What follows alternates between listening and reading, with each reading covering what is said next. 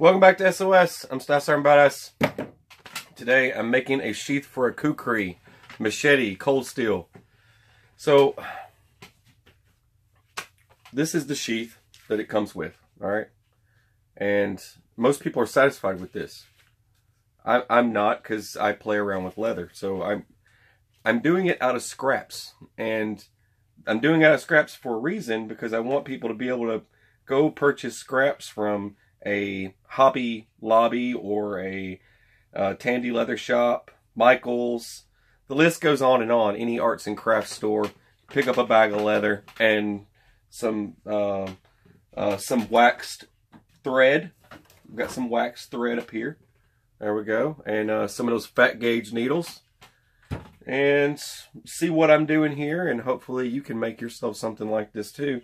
I want to do this the easy way and uh, not the difficult way. I just I want to be able to give you something that you can use and uh, you can learn from.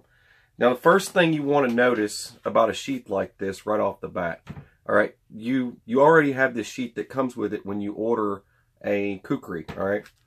You open it up here and then here, and then it it has that slit. You see that slit there?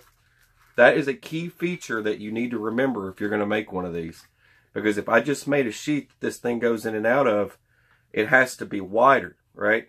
Or this, because this fat end here is going to cut everything open. All right, so the way that works, it lifts out and then pulls out like that. And it leaves you with that. That's the best way I can explain that. But that's how I have to make the sheath. But I want it to have a carrying case, and I've already got one dried, ready to go. So I'm to pull you over here Let's get the hacking stuff up. Like I said, this is the carrying case. I'm not getting to that yet, but it's uh, once this comes out, you'll see all this when I lay it in. But this is to go on top of the sheet, so I got to get it out of the way. The key part here, like I was saying, you've got to pay attention to how this part works, all right? I want to salvage some of this or make something like this. I kind of I kind of like what they've done here. So I'm probably not going to salvage this I'll probably make one for it. So it's not going to be done in all black. It's going to be done in leather. I don't need this sheath anymore. I just need to note that before I move on. The shape of the kukri, right? Now, you can use this as your reference because you're probably going to need to because it's hard to remember. But the way it goes in the sheath originally is something that you can use.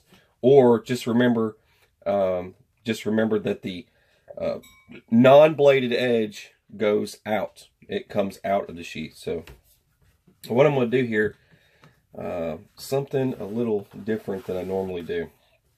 I want as much leather as possible, and I don't need a lot of of uh, backstop back here. Okay, you see how I'm doing that? See, I don't have a lot of backstop there. I don't I don't need a lot of this. Okay, on this end. This end does not matter to me. I do need an end to catch here, and that's that's pretty much it. But the main part that I need to worry about is this front half here because I'm going to be taking scraps. These are just leftover scraps. I got different kinds here. They come in a they come in your bundle, but you can take a piece of scrap like this and use it for your edge. All right. So you would just follow along the line here, and I'm using I'm going to use simple materials today. See how I do that? that's how your blade's going to set in that every single time so it doesn't cut through the sheath. Now, I'm going to use something simple today. I'm not getting silly with it. I'm going to pick up, I'm going to do something that either, this is the Gorilla Glue Clear. This stuff works great on leather. You can use leather glue. They sell that too. I'm just using something that you guys can commonly find and uh, pick up so you don't have to go running around looking everywhere. If you want to use that, you can, but they make glue for that. All right, so that's my edge. So I need to mark that real quick. This is a uh, super permanent marker, okay? Made by Sharpie. And then I just get my line. I just want to know where my line is. I want as much room as possible. So I just follow that. save as much material as you can. You just need to get the overall shape. All right. You're you're probably going to have to do this a couple of times to get this right. So I'm going to pull it forward. I need a little bit more room there. So let's go ahead and bring it back one more time. I didn't like that. I didn't like that line. So I'm going to do it again. Measure twice, cut once, right? Isn't that what they say? All right, I got that line there. And then let's just see how this line will look. Let's tighten this up. See, I'm doing it so I can get my shape. I had to draw that until I got it nice and nice and straightened out. All right, so that's overall that. Now I need to figure out the backstop here. Let's just figure out how much how much room I want to keep for now. Let's just kind of just to get an overall look at what this is going to look like. And I want more back there. I just need to know where that's going to stop. So let's just round that off. You're going to round that. I know this is this kind of it's kind of hard to get this, but this is the inside, so it's not going to matter. All right, now let me cut this. You see, I've it it takes several attempts to get the right shape, but um, I'm going to go ahead and cut this out now. All right, so as you can see, I've got this where I, I want it. Uh, let's just move this out of the way. And now I've got this guy here I've got to glue up. And what you could do, um, just put it on the edge because you're going to follow the edge anyways. So it's not going to matter. All this is going to get stitched anyways. This is just to hold that in place. Now you're going to have to use clips. I'll get to that. I'm going to show you how to do that you go to the dollar store and you get yourself some clips. All right. It's not going to be fancy. It doesn't have to look super fancy. Let me pause real quick and get my clips. But you can get a whole bunch of these clips for a dollar. Okay. I just take this guy here, stick it on there, and just kind of hold it up and put them in place. You can move them as you go. Get them in place. Tack them down. Pull it to your desired place. It's a little it's a little tricky moving your fingers around. You don't have to worry about this backside, like I said. It's just the blade. The blade's what you want to worry about. And this is the cheapest way to make a sheath for something like this. And look, man, it's a it's a machete, all right. Uh, I mean, most people would not go this far to make a machete sheath. I'm just saying. uh, that's just trying to be realistic here. But uh, I will make this pretty decent. It's uh, going in my bag. Uh, in the event I ever need it, I'll have a nice sheath. I'm not doing... I might do a loop for a ferro rod, but I think that's as far as I'm going to go. I don't think I'm actually going to put a ferro rod in it yet. I don't I don't know. The uh, survival kit itself is going to be pretty nice. All right, so that's your layout right there. Just let that sit and uh, give it about, um, you know, um, a good hour to dry. So I'll be back in like an hour and we'll get this going again. All right. It's been an hour. I can take these off now a lot of these guys. Just uh, make sure you uh, press them down all the way. Don't slide them just in case it's still slightly still drying. But it's okay. Now, the next step you want to do, this is going to be your outside. So you want to, or inside if you want to be left-handed or right-handed. I'm probably going to put this on the left hand. But uh, you just set this up here uh, this little extra piece here, I've got to cut that off. Just for now. Some thick leather. There we go. All right, like this. Flip. That little extra glue you might see there is no big deal. That just comes right off. You get this lined up. Get your marker. Layer on. Now you're going to be sanding as well. You want to sand these. So you want to straighten it out in the end. You're going to be doing a lot of sanding. Get your line. All right, now I just got to cut that piece out. Got my piece cut. Just like that. And this is going to be, you would want this to be the outside of this. So it doesn't really matter how you want to do this. This can be your, in, your outside or inside. It doesn't matter how you want to do it. Sometimes this type of leather stains better. It's all going to get stained anyways. It doesn't matter. This is already stained. It's stained this color. But uh, So it's not going to make any changes to it. I will trim the edges a little bit when I move on. But next thing, while this sits, I'm probably going to just leave a couple of these on here because I have to stitch on my case before I stitch all this together. So just for now, I'm just going to leave these on here.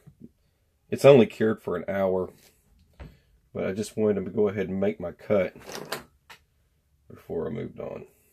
This will hold everything in place so it doesn't move around on me. I know I took all these off and then now I got to put them all back on. Just goes with the work. This stuff ain't easy.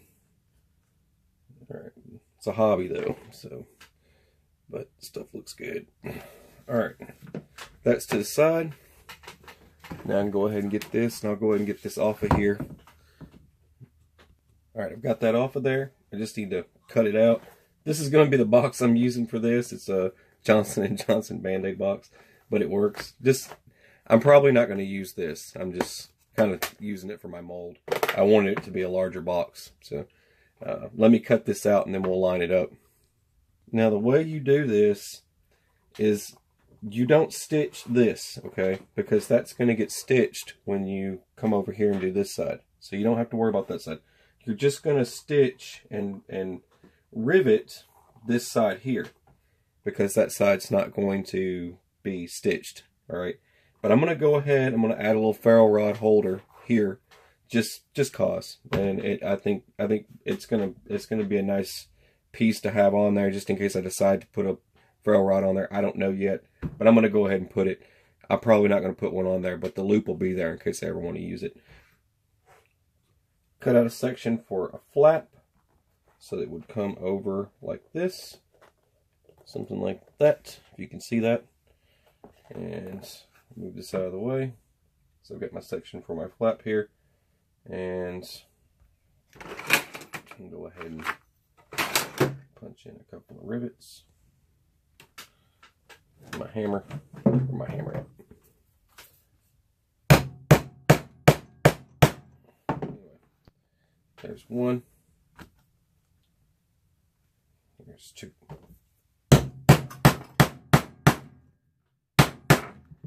That. Now I can rivet that down. Now I've got to put snaps on here too. Got my holes for my snaps. There's my other piece there. Snap in place. Just that guy there. Just like that.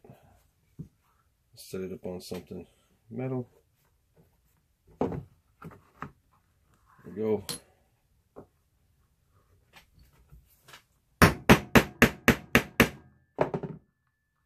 Doesn't to be too tight.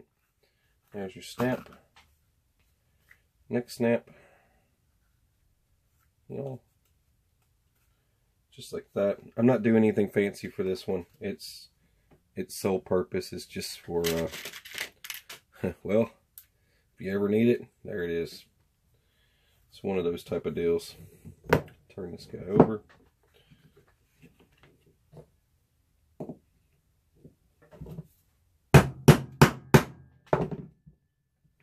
There we go.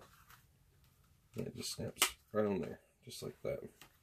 And this will be tucked in just like that. You need it, pop it open, there you go. Nothing fancy.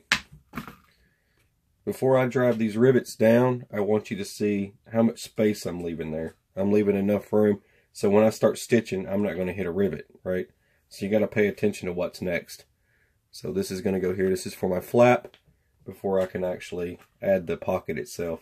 So I've got to get this done first. I'm going to snap the box in place. That way I can go ahead and size it up where it needs to be. It helps me double check everything. So I've got the other side of that I've got to tack down. So that should line that up. It's not going to be the same exact size as that box over there. Okay, so that box probably won't fit in there once I get this done. I'll have to get it wet again. But, um, I just need to get my holes. So you're going to add rivets. Then you're going to add snaps. Okay. You want to get one thing done at a time. So I made this hole for this rivet. I need to get that riveted before I move on. Because you got to keep it all together, one thing at a time. If you start punching a bunch of holes here, it might not line up. So you don't want to get too far ahead of yourself. So I'm going to go ahead and rivet that down. Okay, I've got that one. Now it's time for my next one. I just come right down here. I want to catch the corner. I want to get that rivet right in the corner there. Remember how this comes together, right? With the other sheet that I showed you. This whole section from here to here is open. So what I'm doing now isn't going to affect the next part. So you got to remember putting all this together, what it's going what it's going to turn out to be when you're done. But you need a section for just the tip of the blade to sit here. And that's that section there that you need. The, the rest of this is just open, so you don't have to worry about it. Okay, so I've got my two rivets to hold it all in line for me until I get over here. Like I said, this stuff is not going to line up the same. Like this bottom part here is going to come down more. So it's going to it's going to be kind of a pointy pointy kind of case. Which I could go ahead and rivet that now, which I probably should. But it's going to be kind of pointy. But I'm not too worried about it right now. I'll get I'll get to that in just a minute. Let me see. If I can get it to stretch, now I'll just go ahead and rivet it down. There's that and that. So I'll, I'll go ahead and I'll go ahead and drop a rivet in there real quick while I'm at it. It's good to get that out of the way now instead of later. All right. Next step is going to be putting a little ferro rod mount here, which I'm probably not going to use, but we'll do it anyway. All right, your ferro rod mount, wherever you're going to put that. Like I said, I'm not making this super fancy or anything because it is what it is, okay? It's just a machete, but I am adding a few features to this thing. But you're going to line this up, push in just a little bit, and uh, you're probably going to have to do one rivet at a time to get this lined up. But I'm going to punch holes and put that in place. All right, that's for my ferro rod. Now remember, I've still got to stitch all this. So I'm still going to stitch through here, and then I'm going to stitch here and here. So all these little blank spots are going to get filled up with stitching. Not too fancy, just, just a little bit of work there. All right, so the next step is going to be lining this up. Now, one thing you got to keep in mind here, uh, there's going to be a lot of rivets. It is a machete, and it is a kukri, so there's going to be some rivets involved. And up here at the top, you want something to be able to fasten it in place. I can get to that when I'm done for the handle part because it's opened anyway. So I don't have to stress about it. Get. Get. Go. Move it. There we go. Alright, bring this back over. Now I can start lining up stuff. This extra stuff I'm not worried about. It's not a big deal. It's an open spot there. I want there to be a little opening so I know where to go. But it's just a machete sheath, so I'm not too worried about it. I'll do a little sanding in the end anyway. Alright, so you want to line this up. Most important part, right? Right along here. I can sand all that down when I'm done. Alright, there's that. Let's let's get the bottom. Let's go ahead and knock that out first. Right there. Go ahead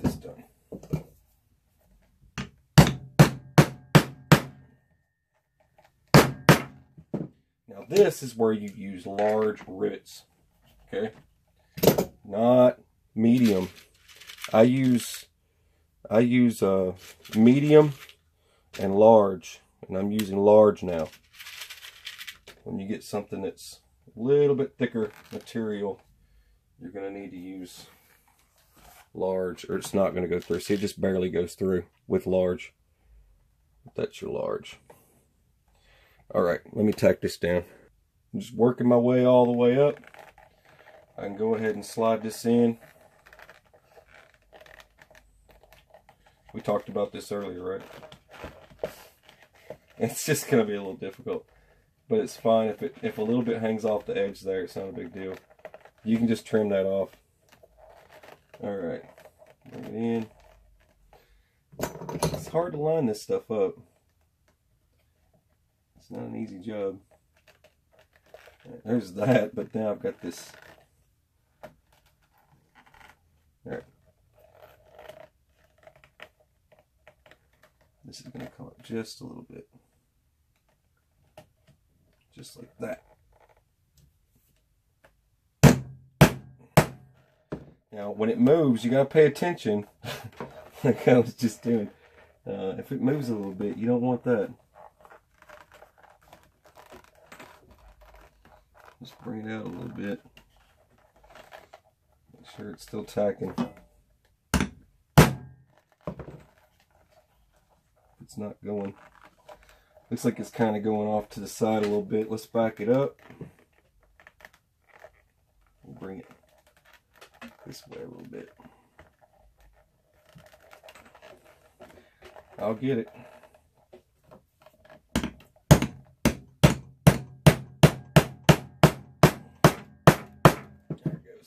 That's some parts are just a little bit harder than others. All right, we've got it all put together here. These are the rivets. Like I said, I just I messed up one here, but it'll be all right. You can you can fix that later. I I'm not really worried about it. It's a it's a machete. And that's why it's not looking super fancy. Doesn't have to. All right. this guy's going to go right in here. You just need to figure out where you want it to go. So it's in there, nice and neat. Goes all the way to here. So I need to push it in more. A little bit of extra room, which is not a bad thing. But that'll go over just like that. So I gave myself, see why I gave it that extra room at the top? People are probably like, why? So the extra room here is so that it can curve over and when I do my snaps. Uh, I just need to see where it's going to go for now. That's all in there nice and neat. Now I just need to, I need to close up my business down here. So right about there, I can add my rivet for that. All right, so I've got my that's my rivets to keep everything together. It doesn't look like much right now, but it starts making progress. Now, when I put this thing in here, it'll go all the way in and all the way to the edge. And I don't have to worry about anything coming out of there. I could slam it in there if I want to. But, uh, there's that. Now I just need to figure out where my snaps are going to go and everything else. Right about here. And then I need to make my tang. So I need to figure out where my tang's going to go. Probably there. Something like that. Just bend that down. Make use of what you already have so you're not wasting any material. But just bring that in like that. See what I mean? You seeing how it all comes together now? Uh, just bring this down here. You don't have to get crazy and wrap the handle or anything. Just leave the handle exposed. It's just going to come up like that. But I'm going to punch that in right there. Basically, just put yourself a couple of rivets there I know it's a rivet job, right? I was like, when is he going to stitch? I'll still stitch. I've just got some, uh, it's got to have a lot of rivets though. All right, there's your loop for your belt right there. Real simple. And now I got to start working on the snaps to hold this in. Kind of like on this sheath here. You know, you've got your snap here and your snap here. I'm just going to move them up a notch. So they'll be uh, here and here. Something like that. I might only do one. I'm not sure. I'll figure it out. Okay, I've got my snaps for my zombie apocalypse style uh, sheath. So now I'm gonna I'm gonna go ahead and I'm gonna go ahead and make my holes and everything. You can use um, it's heavier gauge. So a lot of this stuff is different gauges, anything from uh, five ounce to uh, three ounce to ten ounce. There's a ten ounce piece there. I can't stitch that. You can't stitch that on a on a sewing machine, so you gotta hand uh, do all this. So I use a drill, and I don't use a drill bit. And everybody always seems to think I use a drill bit, and I don't know why. But uh, this is just my straight edge punch. It's it's polished. It's been used quite a bit, but there's nothing on it. There's no threads. It doesn't take away any of the leather.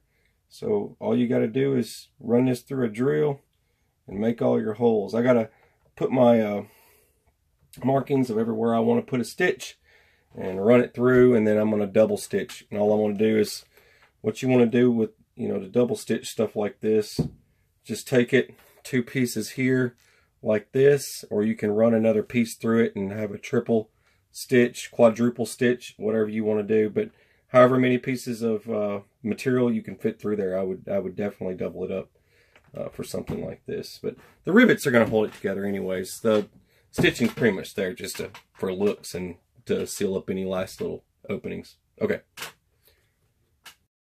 And you could always get yourself a drill press. Just saying. I use a drill press. Makes life a little bit easier.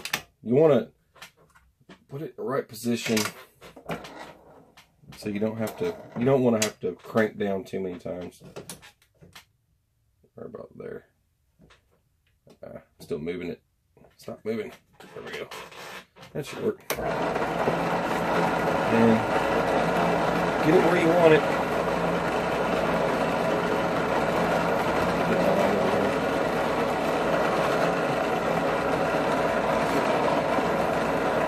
I'm gonna make sure I can see.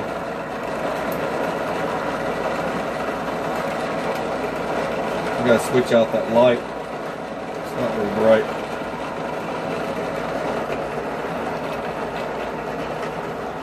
How much, is, how much of that you can see. Turn around so you can see better.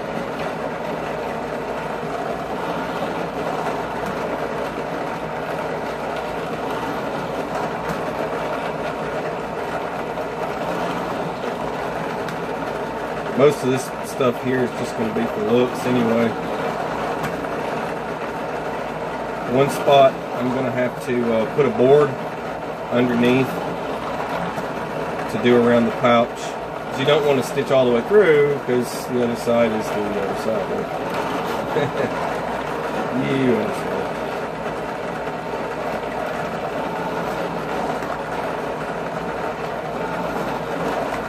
Look at something like this and just keep doing your thing. It's a lot easier like this if we're doing thick leather. This is, I'm not saying I recommend this at all. This is just what I do. Uh, it's my style, it's what I do, so if people that are more traditional or whatever they do, I don't care. That's what they do. This is what I'm doing.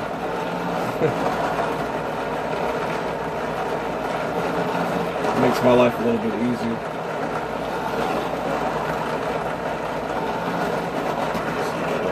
And you kind of see the bottom part there is already done up. Now I got under, like I said, underneath here, you don't want to stitch all the way through because that's that's not going to get stitched up. All that has to stay open. So what you got to do there is you got to put a board underneath it. So just put yourself a board. I've already got a board sitting over here so I can put underneath there. But uh, get yourself some wood or something like that and shove underneath it or another piece of leather and measure it out so that, you know, you don't go too deep, but you can get deep enough if you need to. But uh, I don't really need to worry about this too much, to be honest. It's not really, uh, nothing's going to go flying out of it or anything, so I'm not too worried about it. I might actually just rivet these bottom ends down here and just be done with it, so I don't have to reach in there and try and stitch it. I wish I would have thought about it. I forget things. You ever forget things? I do. happens all the time. All right, I'm going to keep going. Like I said, all right, I've got it sanded. I just need to add some artwork somewhere. I'm not, I'm not quite sure. Sometimes I just like kind of adding some marks just to give it some kind of look.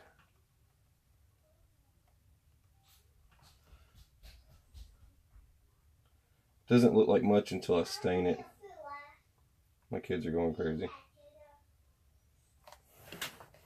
Just kind of breaks it up. It doesn't look like much right now until I add more to it. Uh, let's see here. Down here, I'll do the tree. Stinky.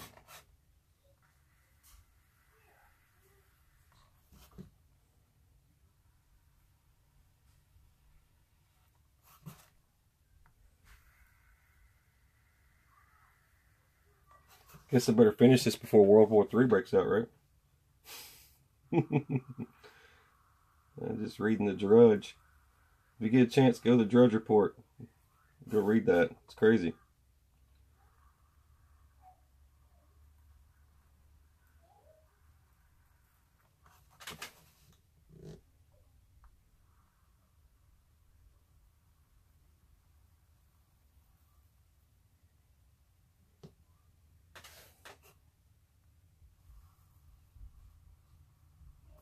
Looks a little bit different once I add um,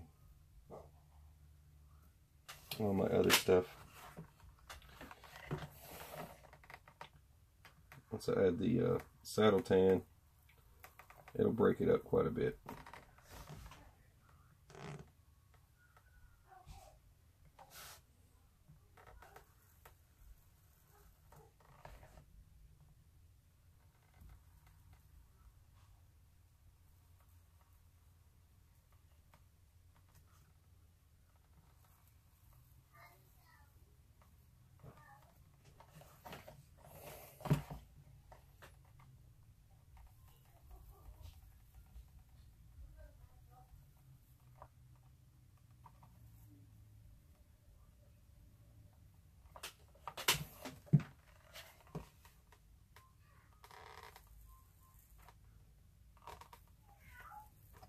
There we go.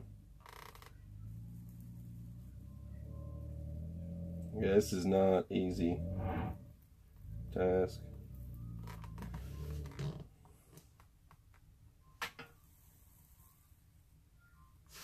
Sometimes you just have to press a little bit harder.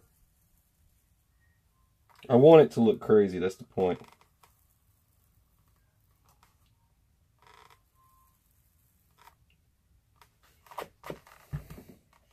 And that will look crazy. All right, now over here, usually what I do, I just kind of go into this. You can just kind of lay it in there. Go all the way around. You'll have to find your spot. Like I said, I just do that just to break it up. I just go all the way around. Alright, I'm going to finish this up and I'll be right back. You go, nothing special. Now I got to stain it. I'm just applying my stain. That's all it is to it. A little bit of saddle tan. You see it all starts to change colors. I gotta get around in every bit of this, every single little corner. It's gonna change the whole look of this thing. See how it all starts to, I'm going over the whole thing. All right, let's try it out. Shove this guy in there.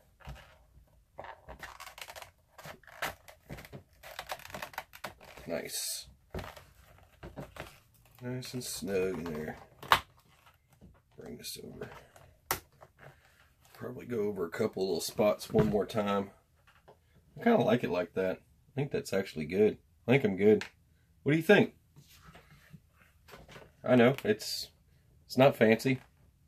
It's not that cool, but look at the size of that pouch. I mean, you're talking some major survival gear you could stuff in that sucker. But uh, you could you could doll this thing up some load it load it up. I mean, you're fully stitched, riveted. It's got 10, uh, 10 ounce leather. That's pretty thick. It's got three chunks on this side. Uh, I would say this thing's going to outlive the apocalypse. So uh, if uh, if you think otherwise, just tell me. But uh, ferro rod, like I said, got an opening for that in case I don't want to carry a bunch of crap in here. But I got this thing wholly loaded up. Uh, double straps. I just moved them up a notch. Looks like something from a movie, to be honest with you. But uh, it's pretty crazy. Yeah, that thing's. I like it. I like it a lot. I like it, and that's all that matters. So that's just the thing. You have to try other things. Like I, I'm making weird stuff all the time, and uh, the only way you're going to get better is exposing yourself to something ridiculous, and um, you're not going to know if you can do it or not. Or when you do it the first time, you're going to learn from your mistake, your mistakes, and you won't do that again. right. But anyways, but that's it. That's how it turned out. I think it looks pretty BA. Uh, I'm going to enjoy it. And uh, this is for my uh, Boss bug out bag. All right. I hope it helps. Love you guys. You're watching SOS. I'm Star Arm Badass. Have a beautiful, fabulous, fantastic rainbows and unicorns everywhere kind of day and take it easy.